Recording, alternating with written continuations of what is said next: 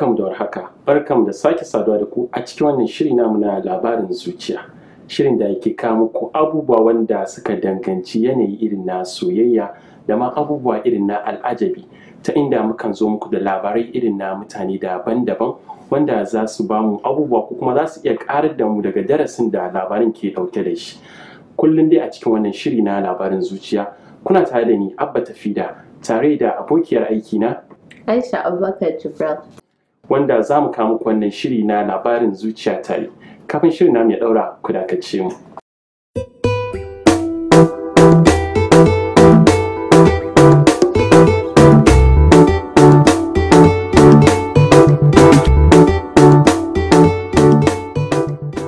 Masu kallon mu barkanmu da dawa a cikin wannan shiri namu na labarin zuciya.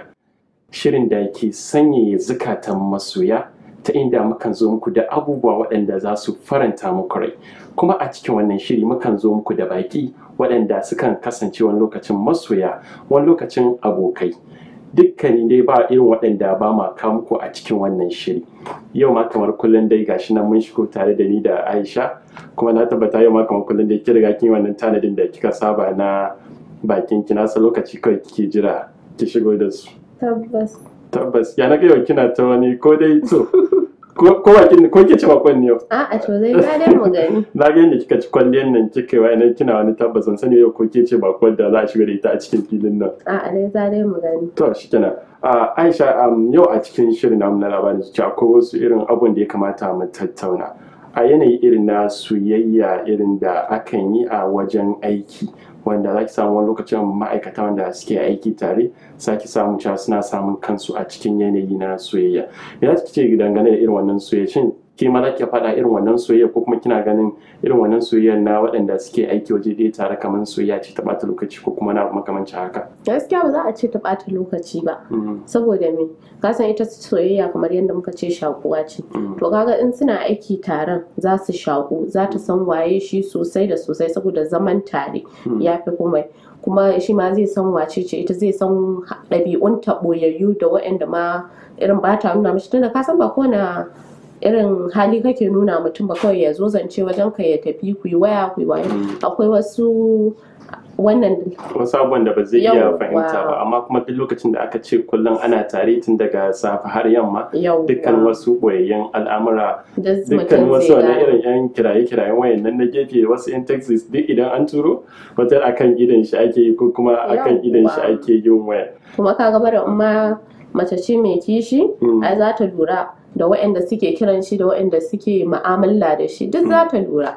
Shi ma kuma idan namiji ne mai kishi ai duk zai lura da irin waɗannan abubuwan tunda ai ba iya mace wacce tunda abu ne na mutum biyu. Amma kuma akwai irin wanda za ki ga su kuma mutane masu son friday su wasu ba su so irin a ce wai suna aiki guri ɗaya da wacce suke ainihin soyayya da ita ba. Eh to ka san kuma yana da advantage din shi kuma da disadvantage. Mm. to kaga irin shi kuma wannan zaka ga ana samun saɓani.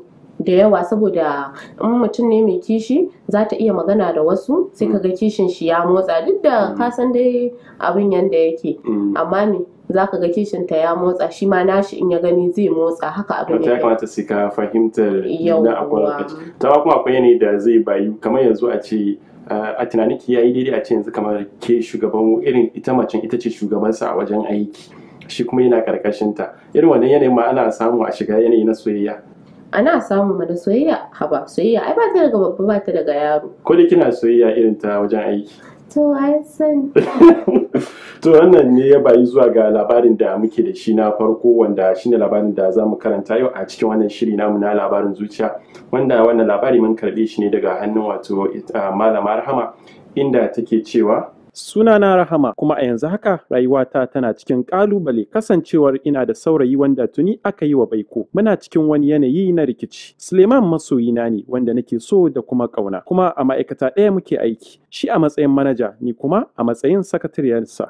Wani babban kamfani a Abuja ya buƙaci mu zo interview. Muka je ni da shi bayan wasu 'yan kwanaki aka buga min waya cewa ni ce na yi nasara kuma sun ɗauke ni aiki. Lamarin da ya haifar da tashin hankali tsakanina da Sulaiman. Ya ce sai dai in zaɓi ɗaya ko dai auren mu ko kuma aiki a Abuja. Ni kuma ina buƙatar aikin domin taimakawa iyayena wanda ƙarfin su tuni ya ƙare. Shi kuma Suleiman yakan yawaita cewa bayan auren mu ba zan ci gaba da aiki ba, wai zai dinga bani wani kaso a albashinsa wanda wallahi ba zai isa in yi wa iyayena hidima ba. Ina son ma'abota wannan zauri na labarin zuciya su bani shawara.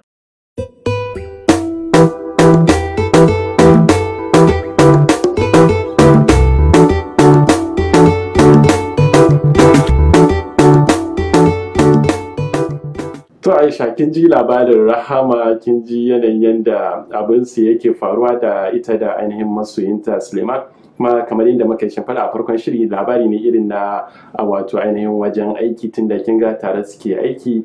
Aka zo aka je aka yi interview ya zo ya samu ta zo ita Allah ya bata nasara ta shallake ta samu aikin kuma aiki a Abuja kin san an ce ai babban aiki ne. Ta bar shi a nan kuma shi sai gashi kuma ya zo da wasu maganganu yana kiran ko da za a zo magana aure sai dai idan har za ta hakura da aikin sai dai ta zaɓa wai ko aikin ko kuma auren. To me za ki ce gam- dangane da wannan lamari?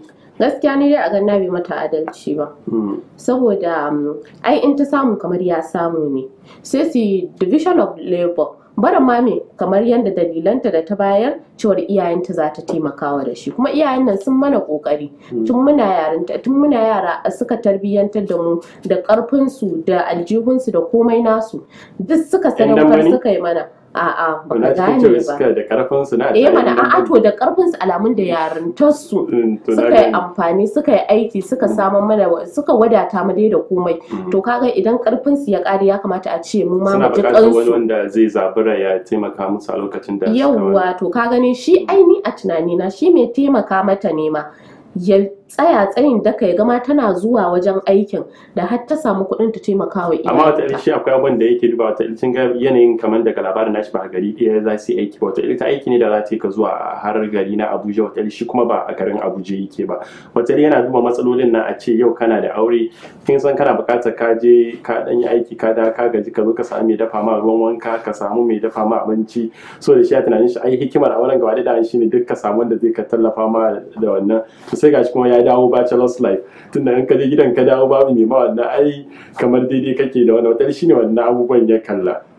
To amma dai gaskiya a gaskiya ni dai wannan dalili kamar za a ce ba wani wai ƙarfin dalili ne mai ƙarfi ba. Amma bakin ji ya ce mata cewar ko da shi zai iya ɗaukan nauyin ma zai ka biyan ta wani abu fa. To ai mutum zai gaji. Allah mutum zai gaji kuma mai bayan da wannan waje da ta je aiki za su biya ta ba. Saboda zai ce ga ai kamar maza ne yanzu a zamanin da muke sai kaga wani ya ce zai bar ki je makaranta in an yi auren. Amma idan an yi auren sai kaga kishi ba zai bar shi ya barki ba kuma. Sai kaga ana samun saɓani to kaga kamar yanzu ne in yana bayarwa yana bayarwa zai gaji da bayarwa. Mm. kuma mai tayo abin da zai bayar din ba zai ishe ta har ta yi amfanin kanta da shi ba kuma sannan ta biya wa iyayenta. da take magana buƙata. To dai kin san gaskiya lamari ne dai mai wannan saboda idan shi ma wata aka tsaya aka kalli yanda abin yake. Gaskiya ma a farko dai kamata ya ce duk sanda a namiji yake da wato yake ƙoƙarin ya auri mace suna kuma shi idan yanzu muka kalla abin yanzu tunanin da an fara shi ne shin mutum ne shi da gaske wanda ba shi da ra'ayin matarsa ta aiki?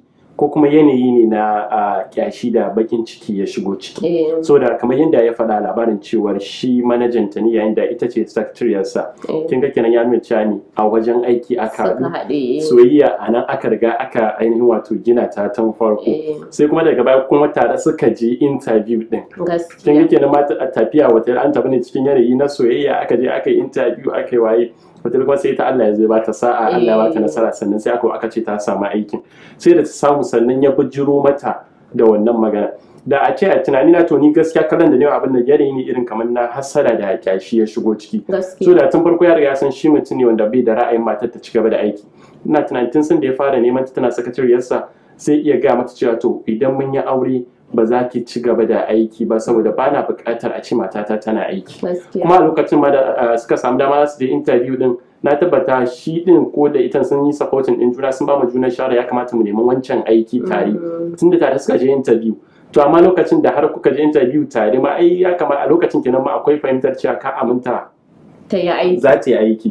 To amma kuma a ce sai da har ka je kuma kuka yi wannan maybe mata da aka tafi ana dan hirar soyayya a hanya ana komai sai da mai faruwa ta faru kuma kawai sai ka zo ka ce wai kai ai Allah bar baka san zance ba ka ce wai ba magana wai a zo a ce wai za a zo a yi aiki. bayan wannan. Gaskiya ina ganin magana shi babban ma matsalar shi a nan wajen ina ganin batu ne fa na hasara kamar shi ya shigo a ciki. Saboda ya kamata a ce tun kan kamar yadda na faɗa tun kan ma a je ga wannan gaba ya kamata ya wata fikar hanci ya ce mata to ni fa bana ra'ayin gaskiya ke aiki. Ya kaba gaskiya ma ta je ta yi interview ba barantana ta samu aikin ba har ta sa ran cewa na samu aiki bari bari na je ne aiki. Amma lokacin da har abin ya riga ya faru gaskiya abin mawuyaci ne. Da wahala a lokacin ta yi tunanin cewa ya kamata kai na janye na je ne auren ko kuma a'a na tsaya ne aikin na kuma gashi ta fara irin larurorin ta cewa tana buƙatar fa za ta ka dan kula da iyayenta tana dan tallafa musu. To, masu kallon da fatan kuna je da mu a cikin wannan shiri namu na labarin zuciya kuma kuna jin daɗin abubuwan da suke wakana a cikin wannan shiri namu. Za mu je mu dawo. Idan mun dawo za mu ci gaba.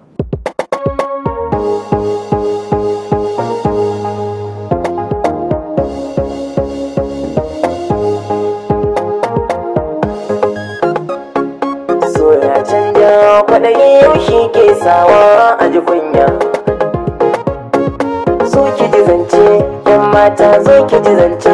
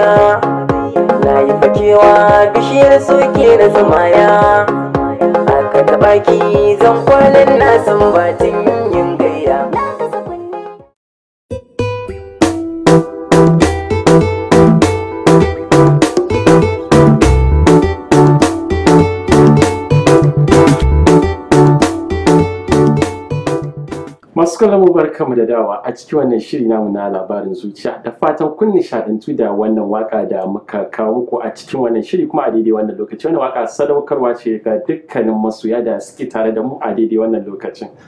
Ya daga kina murmushi? A'a to masoya ka ce. To kewa masoyiya ce da za a sadaukar da wakan gare ki. muna labarin a rahama da wato masoyinta suleiman. A ni kin gane akwai magana ma da ya kamata a nan mu tun da ita rahama ta nemi mu ba ta shawara. Amma kafin mu je ga ba ma rahama shawara a ga dukkanin maza ma masu irin wannan al'amari masu irin wannan halayya ta shi suleiman din ya kamata su ma mu fara da ba su shawara. Ni a gani na tun farko idan namiji kasancewa kai namiji ne wanda baka da muradin matar ka ta aiki baka ra'ayin matar ka ta aiki tun farko to bai kamata ma ka je ka nemi yarinyar da aka ce mata ji ta yi makaranta ba. So dukkanin yarinyar da ta je ta yi makaranta kana kyautata cewa babban dalilin da yasa ta yi karatun na saboda tana buƙatar za ta amfana da wannan karatun da ta yi. Ba wai ta yi karatun ne kawai don ta zo ta yi kwalliya da shi ba ta ajiye in an ce ah, to mai me ma amfanin kai karatun da ba za ka yi amfani da shi ba? kamar gaskiya. Mutum ne ka gan shi a kasuwa ya je ya ce fa ne komai ya siyo kayan miya ya komai ya zo har ya markaɗo shi ya dawo da shi gida ya ajiye. Sannan kuma sai ya zo zai miya ka ce wai baka buƙatar yi miya. Bayan ka gan shi sanda duk ya gama yin cefanen nan. Kin ga idan kai mai aka baka mai adalci ba. Ya zamto cewa duk cefanen nan da ya tafi a asara.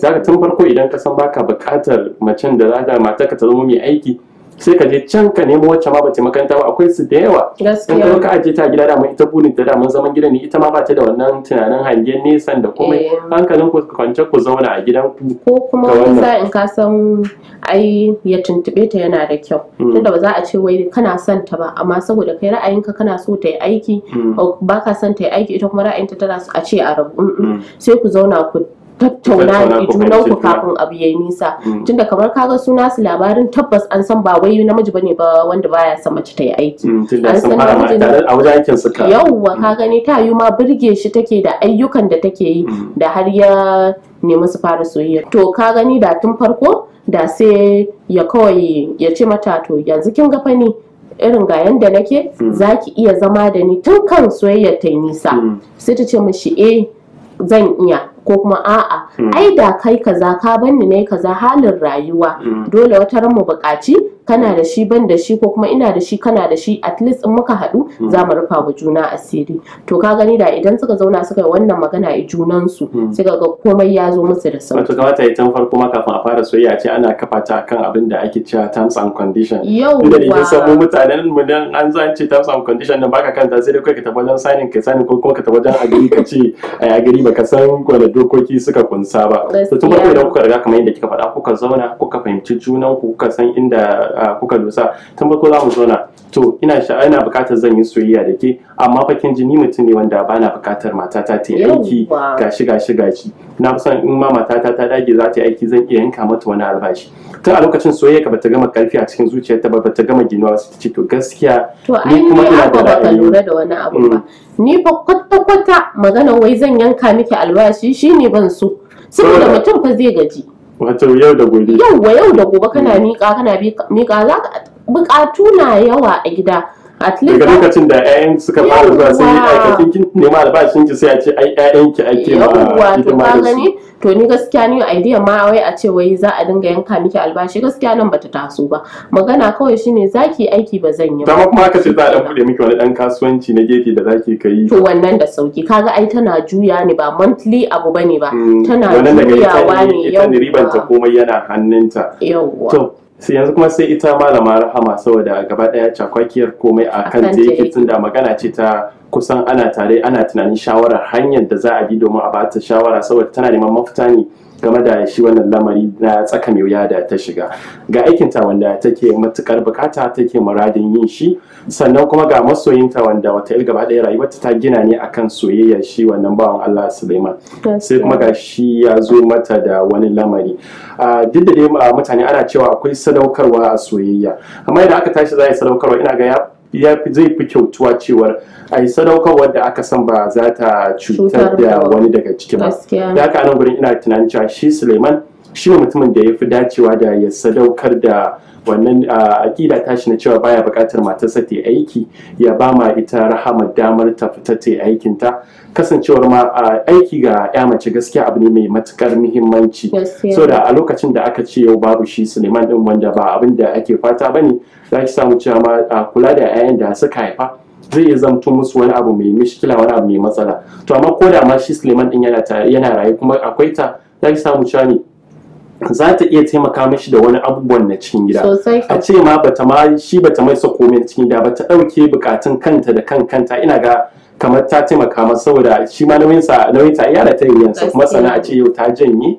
Za ta yi wani abin da yake na daga nauyinsa ina ga ko a nan kuma ai ce- ya ita ta kanta in za ta yi mashi adalci Mm, sai ta duba ya yaddan ta yi aiki. Mm, to ka gani yawanci ma duk abin na cikin gidan wani ba sai ta gaya mashi ba mm. saboda ta san ya mata halarci buƙata abubuwan da za ta yi ma ta kyautata yawwa shine ai kaga kamar a ce cefane ma za ta iya ɗauke mishi za ta iya dinga yin kayanta ko ta ya zo ya iske abin da ya kawo ya mafi wanda aka bashi. Wato idan ya dan kawo wake cewa tsamiya sai zai ga kaji a ciki. Yau zan don ana da kwalama kwa sai ga mai gida yana ta brush. Mm, to kin gane gaskiya kamata a shi a malam suleiman ya duba saboda tun farko idan za a yi kallon abin ma a kalli inda laifi za mu iya ba da laifin gare shi saboda tun farko ya kamata a ce ya riga ya shimfiɗa mata wannan dokoki nasa ta gano cewa ina ya dusa kuma ana tare baka gaya mata ba har sai da lokaci ya zo da ta samu aiki kuma kana son ta riga ta kafi da soyayyar ka lokaci ɗaya ka ce za ka wannan ina ga akwai matsala. Sannan ga ita kuma malama rama ina ganin ga abin da ya dace da ita shine ya kamata a ce su je su zauna. Ta ƙoƙari su zauna da shi ta ƙoƙari ta fahimtar da shi. Ko da iyayen nata ma za ta iya gaya musu kira shi su ƙoƙarin fahimtar da shi tunda ai iyayenta ma iyayensa ne. Shi ma kuma ya ƙoƙari ya fahimci irin abin da take so ta nuna masa wata ita ce ɗaya ya ɗaya tilo ma wata a gaban iyayenta wanda suke buƙatar taimakonta. So ya kamata a lokacin shi ma ya kalli abin da idan basira ya tausaya kuma sannan ya bata damar ta na matsayinta na ya mace. Tunda ya kamata ma a ce yanzu an zo lokacin da ya kamata a ce ma ana karfafawa ya'ya mata gwiwa domin su fita su ka yin aiki. So da kuma ina ganin dan an wani kun haɗa wajen aiki kana soyayya ma da ko waje ko wajen ɗaya ma kuke aiki ma da mace kai ina ga ai ba wai matsala ba ba kamata ya ma abu ma asirin ku a rufe. Kun fita tare ku kun dawo tare. Dukkan irin wasu matsaloli da akan samu na yanayin zamantakewa za a samu ku zai iya zuwa muku da sauƙi so lokacin da ki samu mai gida ya fita ya dawo ita kin- kina gida ko ba wajen aiki kuɗai baki san ran shi a bace yake ba yana zuwa sai ki samu mutane maybe kin taso masa da wani abin shi kuma wata shi baki kanci yanayin sa ba. Ana yawan samun matsala. To amma da an tare kuka je office din duk abin da ya faɗa a office din akan idan kike riga kin gani. Haka lokacin ke ce ma mutum wacce zaki ga ƙoƙarin sanyaya masa zuciya kina ba shi haƙuri kina tausasa masa. Da gaskiya gani gaskiya a shi malam Ahmad ya ƙoƙari ya ma ita rahama adalci su samu su fahimci juna a zauna lafiya domin samun kyakkyawar zuri'a. Da haka mu muna masu ba shawarar da cewa su duba lamarin nan kuma shi ya ƙoƙari ya tausaya mata ya ba ta dama ta aikin ta. In ya so ko da weekends ne ai za ta ka zuwa masa weekends haka ana dan Eh. samu ana wannan. Duk da idan na ba da wata shawara yanzu sai ki ce ban yi wannan ba da sai ya ce ai tun da da shi namiji ne an yi mata huɗu. Sai ya karo da wata wata ake ka taya shi. daman ka sani ko su mata suna da wani abu. Mm. in ya zauna ya gaya mata ya ce mata gaskiya zan iya barin ki ki tafi amma fa ni ma ki banni in yi aure. Saboda ba zai yiwu ki tafi can ba kuma ni ina nan in dawo Mm. a office bukatu na cikin gida kuma a ce ga gajiya kuma a ce ni zan yi makaina sai ya ce sai ta ce mashi to shikenan kaga sai ita ma sai ta mishi adalci. Sai ta ce to shikenan ka karo aure. Amma Allah na tuba in ni ce amarya kana tunanin zan ga uwar gida ta fita ni ma a ce gida zan zauna? To ba ki da aikin yi fa. Ni ma sai a nema mu in ba shi da yanda zai in ba ki da ƙwallon neman. To sai an haƙuran bi ta sau da ƙafa. Da haka yanzu ki ba shi shawarar cewa ma idan ma wannan za su iya fahimtar junansu ya karo aure ya zauna ita tana aikin ta in yasu kuma wannan matar tana nan tana kula da shi. Gaskiya. To da fatan rama kin ji ma yar wanki mace ce ta ba da shawara cewa za a iya karo miki abokiyar zama ai a zamanin nan ba a ma gudun kishiya. Ba ma gudun kishi ba a gudun kishiya. To shikenan ba girin girin ba dai ce mai muna nan za mu da zuwa da wasu kallon da sabon labari wata lokacin da aka yi Aisha kishiya. Idan ta yi ƙoƙari wannan sai mu zo sai masu kallon su tuna wajen tuna mata da abin da yake faruwa. Masu kallon da fatan kuna biye da mu a cikin wannan shiri namu na labarin zuciya kuma da fatan kuna nishadantuwa da shi wannan shiri da muke muku a daidai wannan lokaci kuma da fatan cewa a ita malama rahama za ta yi amfani da 'yan shawarwarin da muka bata kuma idan Suleiman ma yana tare da mu a daidai wannan lokaci muna fata za ka yi ma soyayya adalci ka ba ma malama rahama dama kuma ta yi aikin ta kuma kai ka aure ta. Mu dai burin mu kullum shine a gaice mu mu zo mu shafa fatiya a yi komai da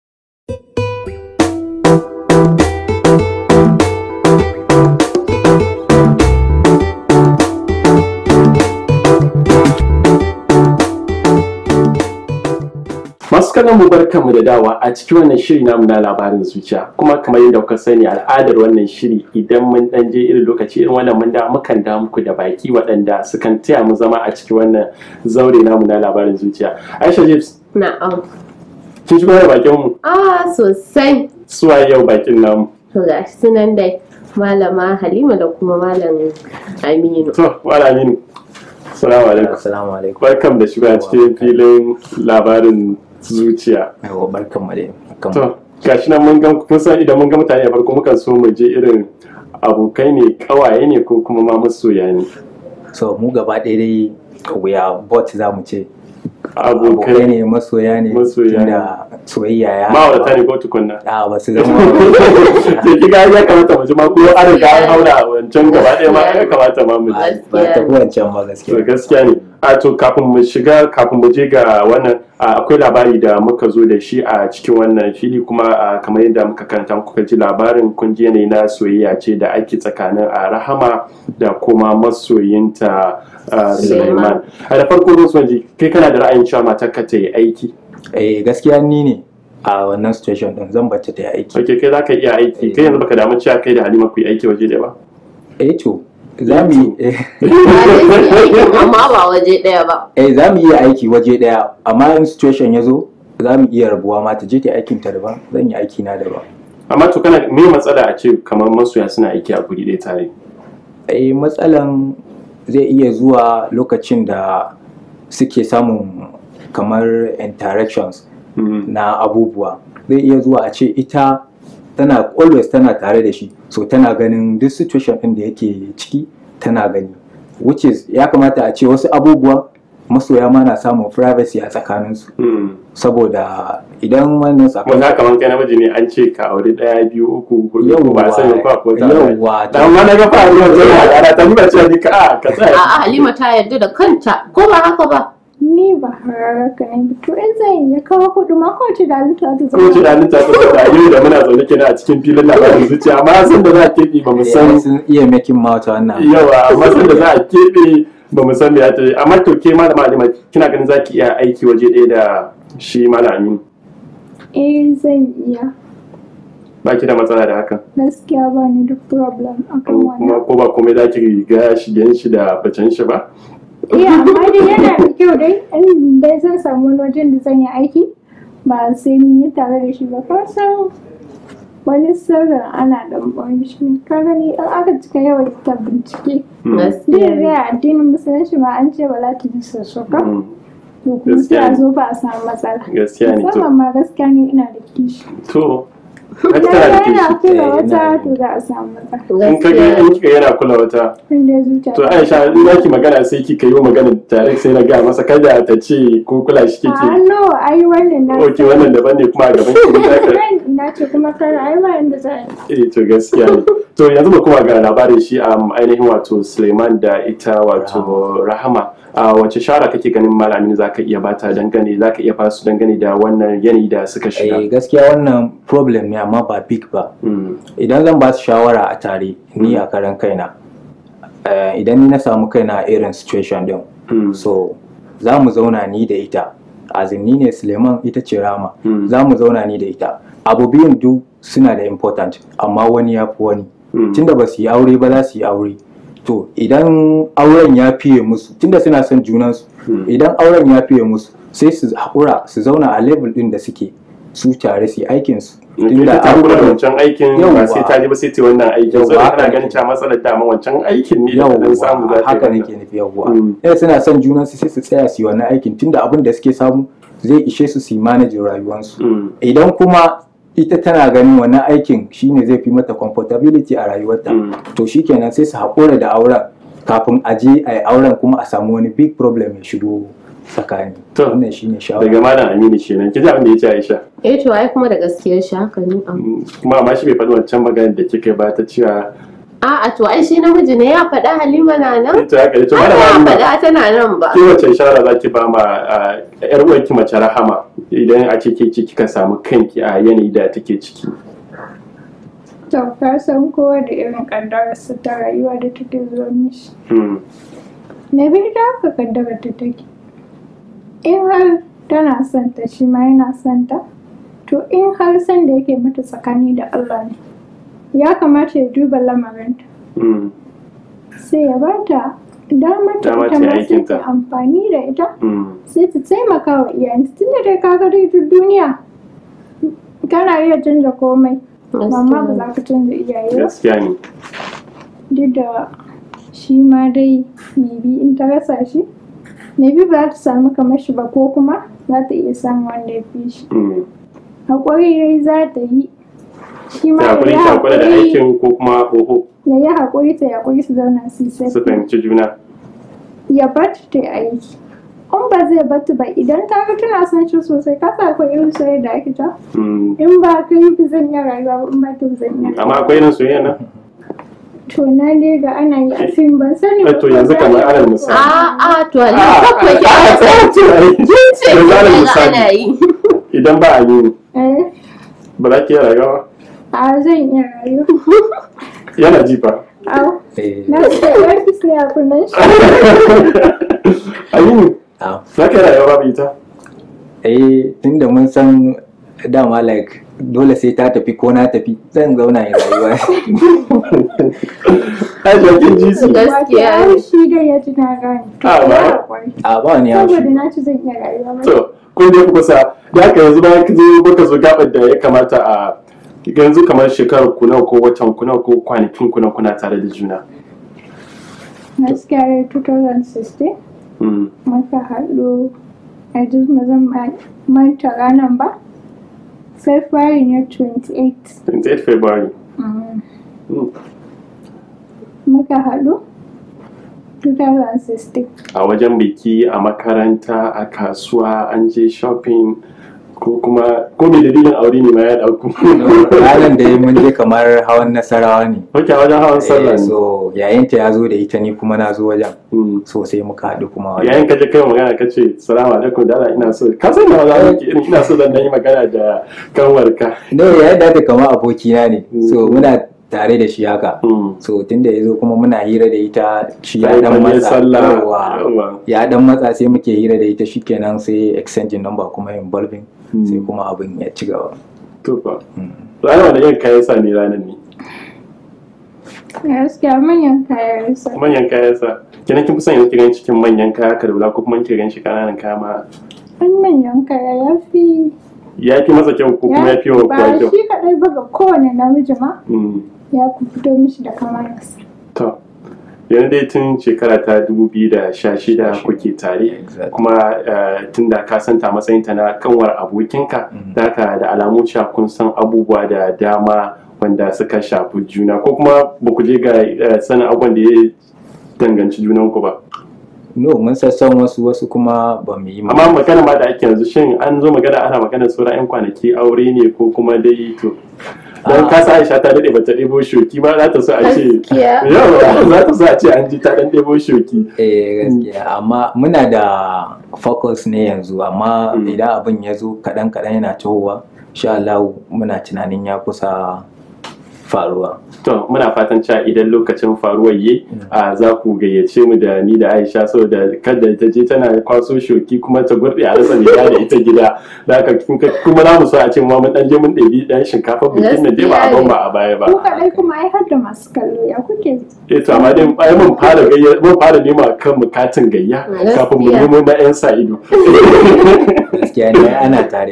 To kamar yadda yake a cikin a, al'adar shirin nan a idan mun gayyato masoya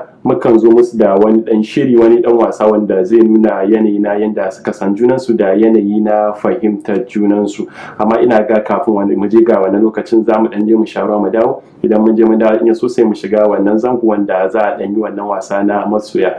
Muna fatan cewa dai masu kallon za su yaba da irin ƙarfin soyayya ku da kuma tunda an ce tun 2016 kin ga shekaru har nawa? Kun ga ba Gaskiya. wasa ba ne cewa abin yayi ƙarfi haka. Gaskiya. Masu kallon da fatan kuna da da mu a cikin wannan shiri namu na labarin zuciya. Kuma kuna jin daɗin abubuwan da suke wakana a cikin wannan shiri namu. Za mu je mu dawo. Idan mun dawo za mu ci gaba.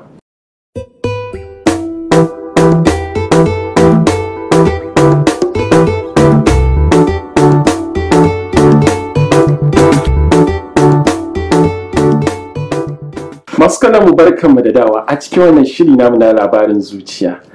Idan kuna tare da mu yanzu mun zo lokaci na gasa wanda mukan yi wannan gasa ne ga masoya. Ko ku Aisha Jesu Gaskiya. so na tabbata kin haɗo tambayoyin ki masu zagi kan ki musu tambayar fa. To tambayar fa to ai kaga su masoya ne. ne masoya ne kam. Ya kamata a ce mun san yanayin yadda suka fahimci. Tunda mu da burin mu shine mu ƙara dankon Dankon ƙarfin soyayya. saboda kin ga da ga miki mun daɗe ba mu je biki ba barantana a kwaso shoki Gaskiya. da aka dole mu ƙara fahimtar da kansu cewa fa kin san an ce idan aka ɗau lokaci wai ana zance ana wai fahimtar juna ke so muke mu ga musu kun gama fahimtar juna ku mu koyi burin mu koyi mu je a yi mana kiɗa mu taka rawa Gaskiya ne. da haka malam Aminu da malama Halima yanzu an zo lokaci da za mu muku tambayoyi. Muna da tambayoyi guda ɗai har guda goma.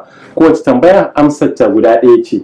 Wacce idan da kun fahimci juna kun san juna ku kowannen ku zai gane wace amsa ake buƙata. Kuma akwai takardu guda goma wanda za mu ba ku da abin rubutu wanda da shi za ku yi amfani. Duk tambayar da aka muku za ku rubuta ainihin amsa. Ita tambayar da aka muku inda idan kun amsa sai masu kallon mu su ga yanayin yadda kuka san kanku. Idan kuma za mu maka kuma ga shin a cikin goma ma sanin nawa kuka san kanku. Kun Gaskiya. gane yadda idan masu kallon su ma suka fahimci cewa yanayin yadda kuka fahimci juna kuka san kanku. Da haka kowace tambaya akwai tambayar da ni zan karanto akwai tambayar da kuma Aisha ce za ta karanto. Kuma kin san kamar yadda muke musu idan mun karanto tambayar wannan fulan dama za mu daga shi mu kare. To kin ga Aminu dogo ne. Ai zai iya kyallawa ya gano abin da Halima take rubutawa. Kuma yadda yake kin san su masoya ba sa rasa wasu yan science nasu wanda suka yi wanda su kadai suke fahimtar yarurrukan su To muna rufewa ba mai to da gani. haka mu muna raba tsakanin wannan yare ba za mu bar su fahimci yaran su ba. Da haka malamin ka shirya? Wani tambaya kuma na eh. To ai ba ku iya raba zuciya ko? Ba mai yarba zuciya. To za ku gani. Ai yanzu da gane ma sanin da ake yi. Connection. Ehe. to shi kenan. Ba komai a yi ba wasu ya ce ba girin girin ba yi. mai. Da haka amma ana raba amma ba a rabewar to da Za mu- da haka kun shirya? Kun shirya? Kun shirya? To ni na fara karanto tambayar farko. A matsayinku na masoya wanda suka san junansu shin wai wani abinci Aminu ya fi so? Kai ka san abin da ka abincin da so kuma ke ma kamata a ce kin san abincin da ya so. Da haka kowannen ku zai rubuta mana abincin da yake tunanin ya fi so wanda shi ma kuma ya san shi ya fi so. Amma indomi ce?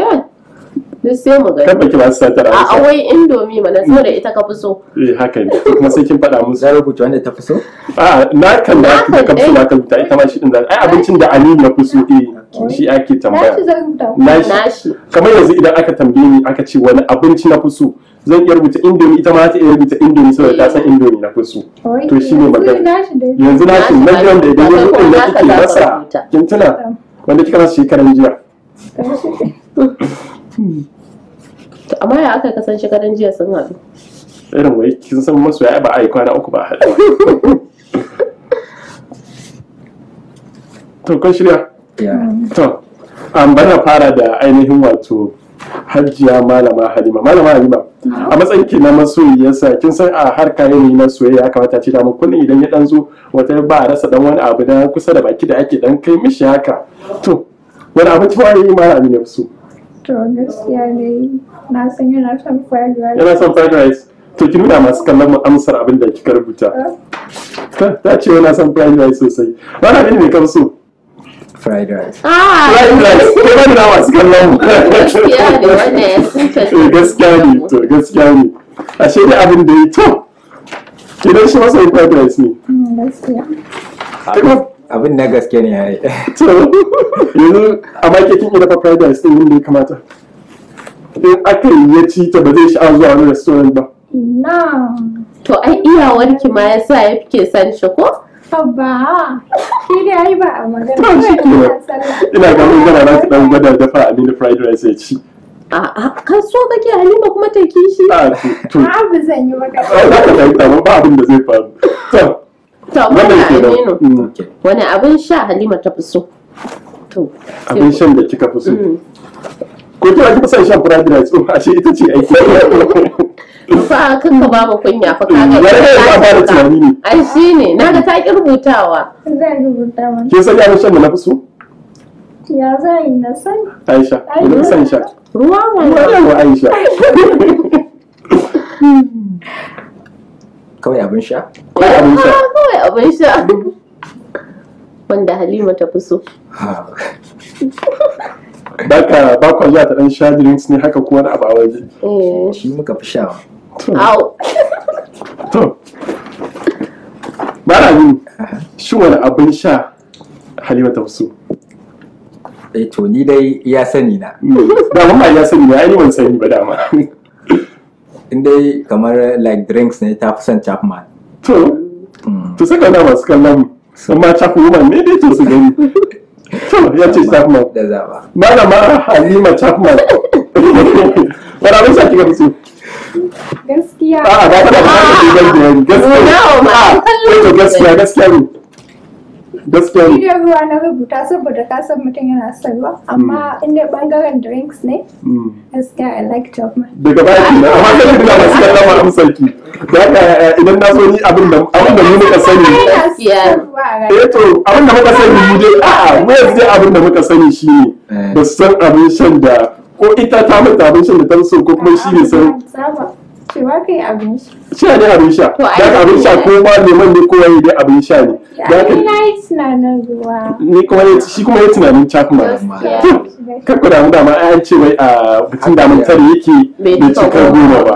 kin karɓi takardar shi. Na karɓa amma fa kin ga a tambayar da aka yi akan abincin da ka fi so an yi dace. Amma da aka tambaye kamar abincin da ta fi so ta ce ruwa ta- ya ce Chapman gaskiya ne shi kenan dai. Ban sani ba ko logic ɗinka ta ɗauka na cewa ruwa ai da za tambayar da aka yi mata ce ko bai ta ɗauki logic ɗin tambaya ta. Gaskiya. Gaskiya. Kun daɗe da aminu sosai. Da aka ji kin san irin abubuwan da suka shafe shi wasu yan uwansa kin san su kin san abokan shi kin san irin guraren da yake wannan. Gaskiya da to wa babban abokin aminu? Babban abokin shi eh rubuta na ki ba ga ba ka yi. ki ba ka rubuta sunan babban abokinka. Ka ga da kai ne shaku mun taso tare. Oh ashe ba tare muka taso ba. Mun haɗu ne to ai koya dai abin da yake. Jare kamar suna na suke rubuta. A'a to sai mu gani ai. Hmm. Amma ni kuma to dai bari dai in yi shiru. Amma ka san wasu dan kishi ba ma sa zuwa da abokansu wajen zance. amma kuma ai ana akan ba da labarin. Kuma haka ne. to. Wai kike tunanin babban abokin aminu? Gaskiya sai yi shi da wanda na fara ganin shi sosai kuma always kusan ina ganin su tare. Hmm. sunan shi Muhammad to Sani sai ki nuna masu kallon mu. Muhammad sani. Wai babban abokinka. Kamzi ne kamzi to kai wanda da masu kallon. To ai shi ne dai. A'a. Nickname ɗin shi ne. A'a ba za ki mu wayo ba. Saboda a'a ba ki mu wayo ba. A tsaya ya sunan shi gaskiya. ai. Haka ne gaskiya sunan shi gaskiya. a'a ni ba zan karɓa ba. So abin ai a nan wajen ka san cewa zan fi karɓar sunan da yake sunan gaskiya? Mm. na yi tunanin sunan gaskiya za a rubuta. Sunan? Sunan gaskiya. Ka san dai an fi amfani da shi. Ai to da sai Kawai samu Muhammad Sani in bracket Kamzi shi kuma sai samu Kamzi in bracket Muhammad Sani. Ya- da ka ni koyi abin da a ni koyi tunani nake so za ku yi kuɗan mun wani wayo kuɗan mun wata cuwa kuma ni ba zan karɓi wayo da cuwa ba. Amma shi Muhammad Sani ko shi Kamzin ya kai kika tabbatar da shi ne babban abokinsa? Saboda ina ganin su tare Hmm. kuma suna zuwa gidan mutum. Kai ne sa aka ba da Muhammad Sani da Kamzi lokaci ɗaya a duk ɗaya ne. San kamar family muke da shi. Ke da shi? Family friends. Ok kinan akwai yan uwantaka ma ok family friends ne tsakani Ka san ai abokin Abokinsa, yayanta ne. To, na gidansu kamar ko yayin naki ne Kamzin. Kuma tun da gaskiya ne ko ba yayan naka ne ya baka mata ba. shi ba shi Ai shi ya kamata amma ya baka mata an kamata zama babban Ai, kin abokinka san akwai abokin da ana mu'amala da shi kuma bai zama tight one da kuke Gaskiya ne. za ka iya gani shi sirrin ka zai iya gani To, shi Gaskiya ne kenan dai. wannan. Malama Aisha To.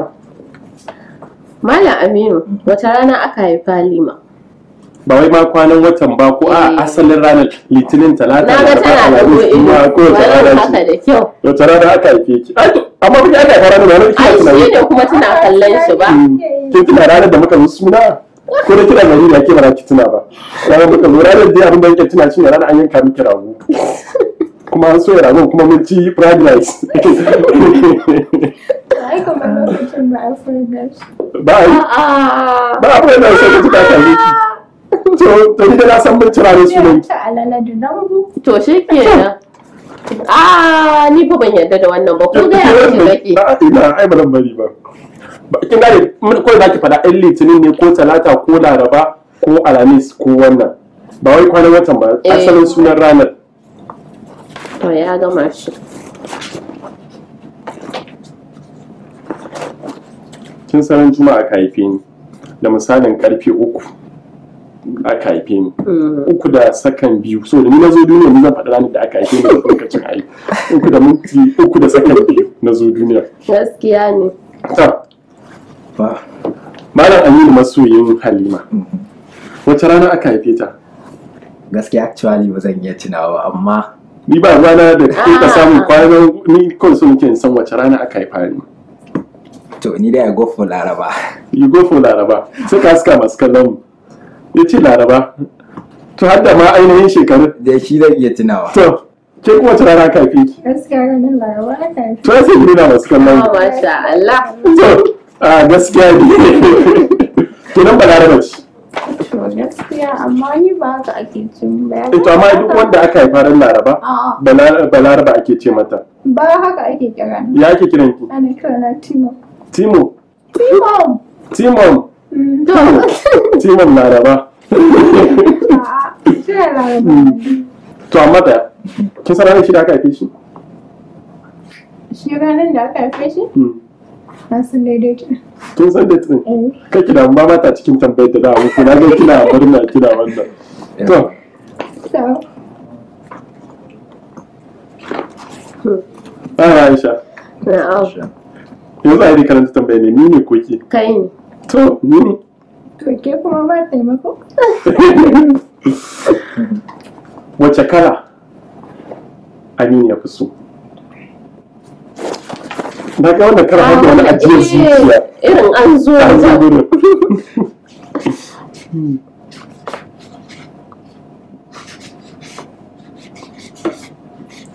wace kala muka fi so ne? Tun da su muke sawa ne. Mm, wace kala kenan? Kin sani ban sama sunan kalolin ba.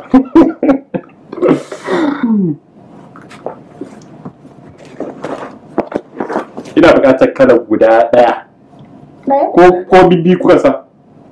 A ni dai na biyu ne. Kana ka biyu ce? To shikenan. Ke ma kuma kana sabi kika sani? Eh. to kin ga yana mutum ai yanzu sani suka yi bayan cewa ta dama ka san magana ta farko ta ce akwai connection. Hmm. to bari mu ga connection. Ne da yawan zuciyoyi na su fa ba sa Eh, rabuwa. Ina ji akwai yin ba akwai bari mu gani. Shi. Da ba ku yarda ba? wata kala ne da su Gaskiya na sai na son black and white. to aikin nuna masu kallon mu. So da kasu tunanin cewa ku black and white wacce kala ka so? Haka ne white and black. White and black. Wow. Gaskiya ne. Amma shin daga yanayin shigar da yake da kayan da yake sawa ne ya fi sa abubuwa masu kalar fari da baki Eh ba ma wannan ba ma. Ka san dai mutum kawai ne akwai kala ɗin da so. Ka san kaya ba za ka yi selecting ka ce wannan gabaki ɗaya za ka yi ta sawa ba. Mm. Ba za ka sa wannan kala ba. Mm. Ka san ana mix. Hmm. To. gaskiya ne gaskiya abin ya fara bani sha'awa yanayin yadda ma har kuka san kalolin har guda biyu ma suka san kalolin guda biyu. ya dai ba na tsoro ba. Shi kenan yanzu aisha james ke ce kamata ki karanto musu tambaya ta gaba. To malam aminu menene lambar takalmin halima? Ya kamata ka sani. Gaskiya. Eh, Tunda ya kamata ce an fara haɗa ne da ya haka kuma. Na kuma in dai ba kuma su biyu ba ne ba mu je ko nawa can ya riƙe. Yawa ka gani yanzu na san lambar takalmin ki. eh wala. Kin gani yakan sa lamba hamsin in ba hamsin ba a kai hamsin ba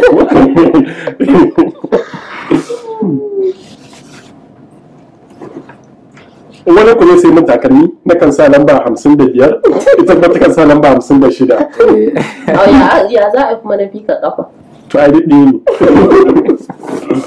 To ya gama na rubuta gama rubuta. To. Malamin Ah. wace lamba take sa ta takalmi? 40 40 ya inda na sani. Wani lamba ke sani? Ne don na san ke ce ke sa 40 a'a to bari da yan to ke kuma wace lamba ke sa? Ki ma ki nuna masu kallon karɓi ita ta ce ashirin da tara ko ashirin da takwas. Amma na nuna baka taba sai mata takalmi ba gaskiya. A gaskiya. Ko kuma ko kuma ina jijiye ka gane ya shayar da kwazo Ka san ai. jiya haɗu na san maka. to yi mun bayani Na da eh kafin na karɓa eh don na fara karɓa Ka san akwai kafa ɓarauniya ba? Mm. Takan sa ina ban sani da yanzu ina sani takan sa karamar namba. Ka san namba ɗin akwai babban namba akwai karama. Eh To idan amma dai babban lamba ne ashirin da takwas sunan ta ko ashirin da tara. Haka ma karamar lamba arba'in sunan ta ko wannan sunan ba ya canza. Ni na fi sani ta fi sa like cover shoe. So wanda ya cover shoe ne 40 na fi na ganin ta. A'a fa to yanzu to ne kira dai baka taba tunanin kuma ka ji irin wanne ta fi so ba wanda kuma ba ko ba shu ba? To haka ne dai. a na san dai ta fi son cover shoe din. Mm. ko high menene high? High gun gajera ce ne a ai kuma kamar doguwa. Ba laifi ya. Ai ka san ba lallai gajere ne yake to shi kenan. Wannan connection din da kace ne fara bani tsoro kuma ya fara bani tausayi. To ai da ba dan dai ba ki da ko ko da na kafa ta ma ai 40 ne. eh to amma kuma da ka shi ya canka ke shi Shi ne na canka gaya maka akwai small size akwai babban. da sai ki amfani da baka 40 ishi bari in maka bayani. imin bayani amma da haka ba ku ci ba amma Kuma bayani namba Mm. ina sakawa. Mhm. amma idan ya tafi me yake da suna 29 Mm. 28 inda babban namba ne Mm. shi ma ina sa to yanzu dai karanto mana yanda lokaci da za su gane cewa dai ya kamata su gane lambar takalma sai mu mu ji tambaya ta gaba Oh. Kin san tarihin Aminu dan labaran shi tun daga yarinta har wani kin san lokacin masoya aka zauna za a ce a to a ina aka yi makaranta a ina aka yi waye a ina aka yi duk kin dan san irin wani abubuwan ina kin san su? To na yi secondary school?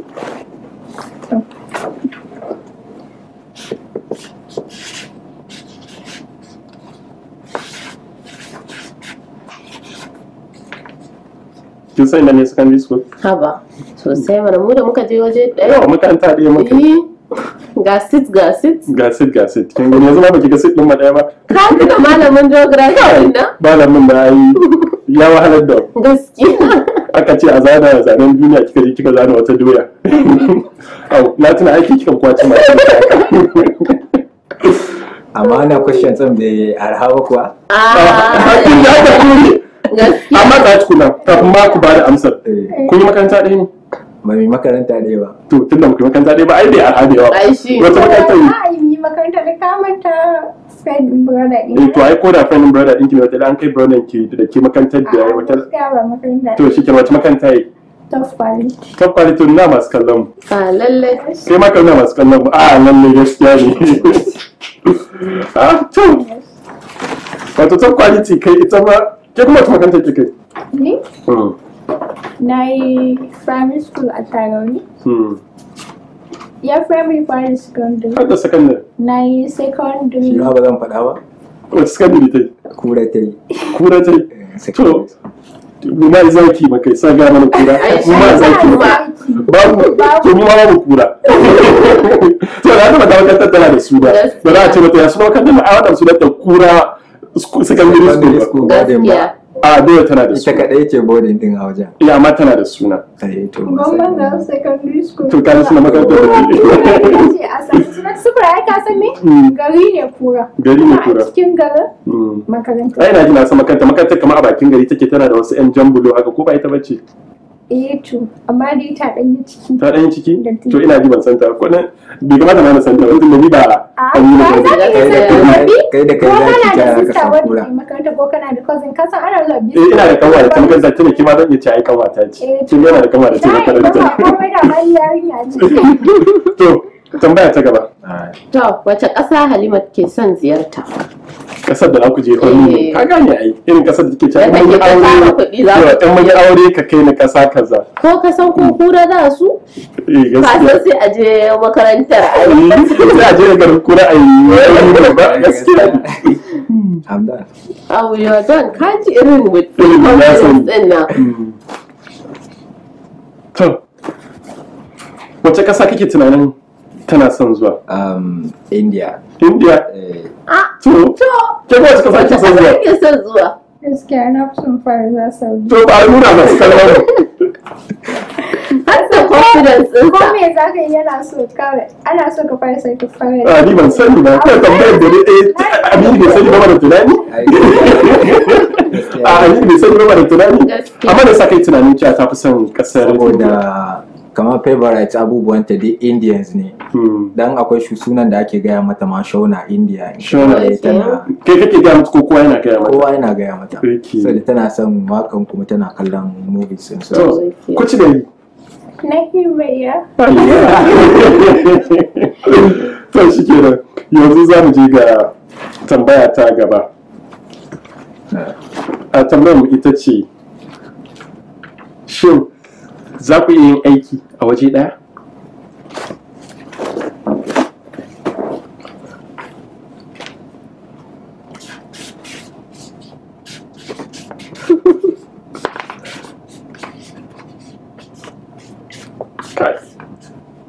su aiki a waje ɗaya Eh. shi bana da ita sakatare irin ta labarin Eh mana. Mu wannan ya aiki a waje ɗaya ko? Eh mana. kin gani? Hankalin mu kwance. Hankalin mu kwance. Gashi ma muna yi. kin gani? Za ku yi aiki a waje ɗaya? Ai, to ina masu kallon ya ce eh. To ni ma na ce. Ita ba ta ce eh. Ki ce yanzu kawai kiran yanzu idan idan wajen aikin sana jin ku ko wajen aikin ko sai a yi muku transfer sai ku koma aiki a waje idan tun da kuna su ni ma na yi mana. To sarrafa zai yi mana. to shi kenan. Yanzu bari mu je tambaya ta ƙarshe. To tambaya ta ƙarshe ita ce ya sunan babbar ƙawar Halima. wacce take baka labarin nan ta shekaran jiya ka gane ta? Ta bayan layin sun ba ta gaban layin ba ta bayan layin. Eh, yau bari wallahi bari da ko ta gaba.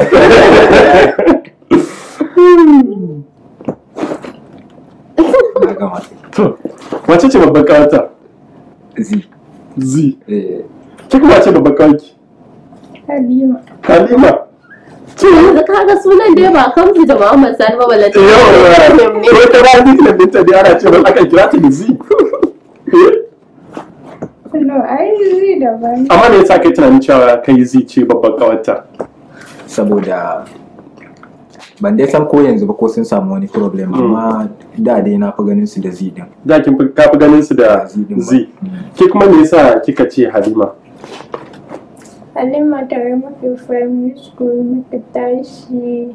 To sai dai muka rabu da muka gama primary. Mm. sai this year 2018 ta dinga bulayin nema ta dinga nema ki mana kuma duk can wani lokacin kina kewarta? Ina neman ta. Sai tukuna da end dai ta nemi contact ɗina ta kira ni to kuma ya yanzu to amma kuma zi kuma fa da ya ce zi to ita kuma tare muka yi secondary school. Mm. aminiya ta ce kwanan mu ɗaya. Okay. Tare aka sha kwaki a yawo kora aka ci kanzo yawo aka sha don bambo kaga ka ɗau distance din iya din da muka haɗu da ita ni ban san Eh eh to gaskiya. gaskiya kam kai da aka san wancan ba duk da dai ana tambaya ta ka faɗi Eh. amma kuma zan maka uzurin cewar gaskiya ka bai da aka ɗauki wancan distance bai Amma dole kuma ka ai san ka san wancan ba. kuma za ta bashi labari ta ce ka san ƙawan nan Mm. tawa da na Eh, daɗe ka san mun daɗa Ya kuma da san ce ma ina ta neman ƙawata wance ina ta neman Eh. ƙawata wance to shi kenan dai ga shi nan dai kin ga a tambayoyi da muka musu guda goma sun yi nasara a tambayoyi guda biyar. Ai sun ci rabi. Sun ci rabi. kuma rabin nan za mu ƙoƙari mu tabbatar da cewa sun yi ƙoƙari sun ƙara sanin rabin nan saboda mu burin mu a ganganta kawai mu a je mu ci jollof ɗin biki. Kuma mu fried rice ko? Ah, mu je mu ci fried rice. ɗin biki. sai za ku ci fried rice. tun da dai rabi ne. To ai ka san da ba mutum tare ke bici mutum tare yake to ci kuma goma ka ba gani da ya amma kuma biyar kuke ba ku cika goma ba. Tun da biyar kuka ci. Da aka to yi ai kaga an yi rabi da rabi. Kaga tun da ya san rabi na majority haka a waje Mm. kuma kaga rabin sai a sani a cikin gida. gaskiya kada soyayya da 'yan siyasa. Za ka yanzu bala aminu ya kamata ban sani ba a gurguje wace irin shawara za ka ba ma masoya. Minti ɗaya kaɗan ba ma masoya Eh, to, shawara. gaskiya masoya abin da zan gaya musu a nan shine su zama always trusted. Idan suka zama trusted ba su da matsala. Duka bot guda biyun Hmm. kowane hannu da uh, hagu da dama idan ya zo aka haɗu waje ɗaya duk sunansa hannaye. Mm. so kawai shawara na kenan su zama trusted. In suka zama trusted sun samu komai a ɓangaren soyayyarsu. Ke kuma wata shawara za ta ki ba ma gaskiya abin da masoya? zan gaya musu su riƙe gaskiya da rikon amana da take kai mutum ga zama na amana wanda ba ma a ce in an ɗan yi soyayya haka ba to in an yi aure ma in Mm. ba gaskiya da rikon amana Mm. so kaga ai ba inda za a zama aure ya zaunu saboda za a dinga sa rai. A zo ana zari kuma ka san dai babu kyau zari a cikin Malam Aminu da Malam Halima mun gode da ita ainihin wannan ziyara da kuka kawo mana a cikin wannan fili namu na labarin zuciya. Kuma muna fatan cewa za ku aikato a za ku aiko mana da katin gayyata a shi wannan fili idan lokacin a, auren ya zo. Ko kuwa Eh, kin ga aka gayyace mu mun kan dole za mu amsa gayyata za mu je inda za su za su ce kin ji a matsayin ki da babban kawar amarya ni ma sai in ji a matsayin na babban abokin abokin sa an ce a high table ɗin nan. An fi jera abubuwa masu daɗi. Ah, so an fi kawo masu ga ko nauyi. abincin muka gama ce ai sai mu tafi. Da haka masu kallon da fatan kun ji daɗin wannan shiri da muka kawo muku inda a yau kun ga inda ta kaya tsakanin a bakin namu wanda suke masoya ne tsakanin malam Aminu da kuma malama Halima wanda muka kawo su a cikin wannan fili. Kuma kun ji yanayin irin shawarwari da suka bayar ga su kansu wato a a- a ita wanda muka karanto labarin ta tare da Suleiman. Sun ga irin shawarwarin da suka ba su kuma ku kan kuma masoya kun ji irin shawarwarin da su kansu suka ba su a ƙarshe. So kin san masoya ne wata wannan shine sirrin da ya riƙe soyayyar su kuma sun zo sun raba shi tare da masu kallon mu. Muna muku fatan alkhairi kuma muna addu'a cewa Allah ya kama lokaci na bikin ku. A masu kallon duba da yanayi na lokaci duka duka a nan za mu nade tabarma wannan shiri. Kamar dai kullum kuna tare da ni Abba Tafida tare da abokiyar aiki na Aisha Abubakar Jibrin. muke cewa ku ci gaba da kasancewa tare da a cikin wani shirin namu na labarin zuciya. cikin soyayya sabon shafi. muka soyayya tuntun miyo nisa. Nisa ya yi shafi soyayya. Eh, eh, shafi soyayya.